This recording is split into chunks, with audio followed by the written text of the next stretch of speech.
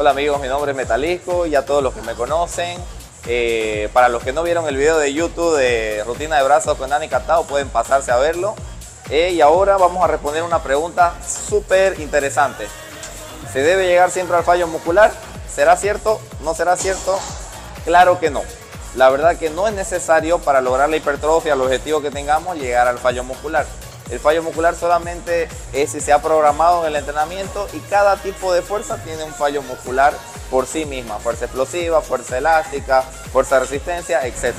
Otra pregunta bastante interesante y tiene mucha relación con la anterior es justamente, para llegar al fallo necesito llevar mucho peso o mucha carga en el entrenamiento. No, precisamente.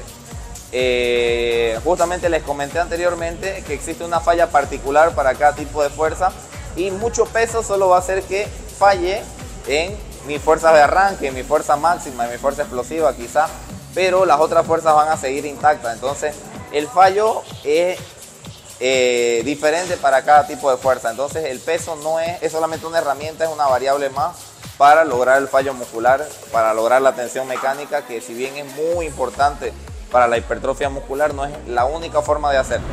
Debería hacer cardio en etapa de volumen, pues la verdad va a depender muchísimo de, primero, la condición de la persona, el plan que se haya hecho.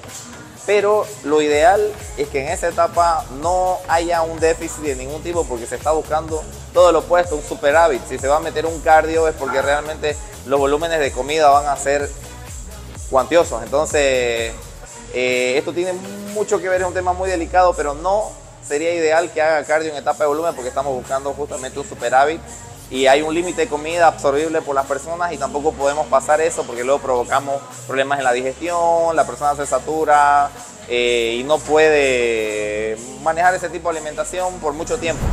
¿En qué consiste hacer arranque? Muchas veces escuchamos arranque, ¿qué significa? No es el arranque de nuestro vehículo, sino es una forma en la que nosotros ejercemos fuerza, una fuerza con mucha capacidad. Imagínense un vehículo en primera o en segunda, donde tiene más fuerza pero no tiene velocidad. Entonces nosotros manejamos cargas mucho más grandes de lo normal para hacer una o dos repeticiones o tres, que son pocas repeticiones pero con alta explosividad. Es un movimiento que tiene mucho empuje pero no tiene tanto control de la carga porque lo que se busca es mover explosivamente esa carga. Eh, por otro lado, Super Slow es una mecánica que no es tan buena para hipertrofia, es un sistema en realidad, pero da una mejor adaptación a la parte de tendones, a la parte de fascia, incluso a las panzas musculares, porque es un trabajo que no lleva un peso excesivo, pero maneja todo lo opuesto arranque, tensión en la mayor rango de movimiento. ¿Qué quiere decir?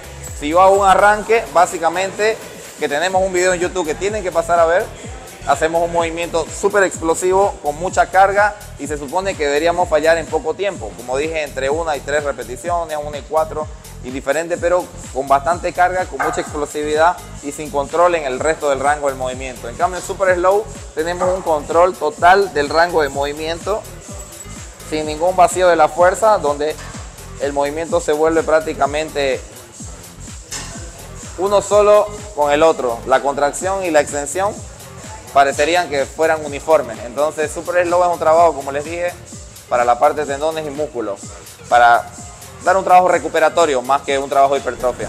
¿Con qué frecuencia puedo cambiar mi rutina? Bueno, volvemos al punto inicial.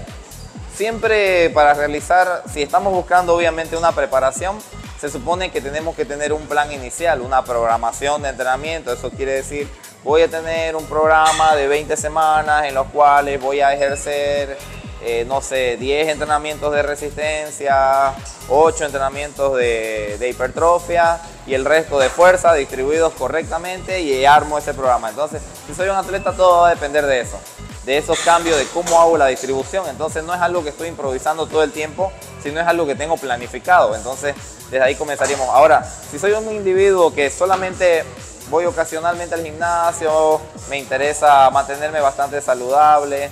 No es necesario estar cambiando cada semana de rutina. Se puede mantener un mismo estímulo por un par de semanas, unas tres semanas como mucho. No se olviden que el cuerpo más o menos entre los 20 días y los 50 días hace una pequeña adaptación fisiológica. Entonces nosotros podemos aprovechar eso para entre un par de semanas y tres semanas ya estar cambiando a otro sistema de entrenamiento. Ah, como recomendación, no han ciertos entrenamientos de arranque principalmente o de fuerza máxima todas las semanas seguidas.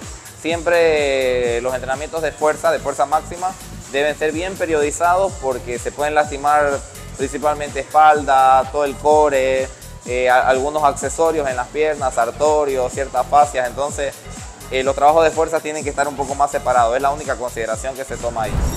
Hay entrenamientos para hombres y para mujeres. No hay un entrenamiento específico para hombres o para mujeres que se haya diseñado como tal. Si bien hay un montón de plantillas o formas de entrenar eh, y las van a encontrar en la web, en diferentes plataformas, en sí no hay ejercicio para hombres y para mujeres.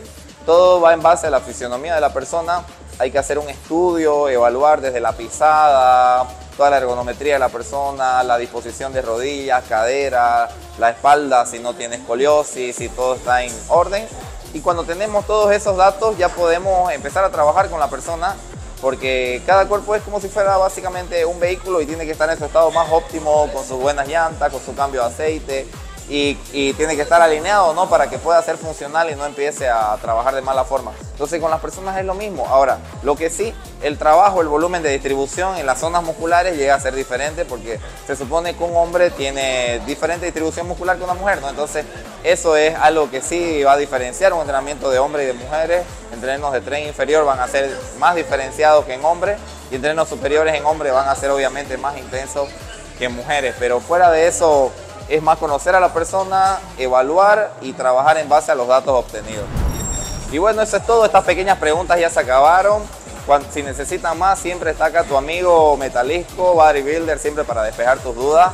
Entonces, hasta la próxima. No se olviden dejar su like, la campanita acá abajo, suscríbanse y compartan, que eso nos ayuda muchísimo para seguir adelante con este contenido.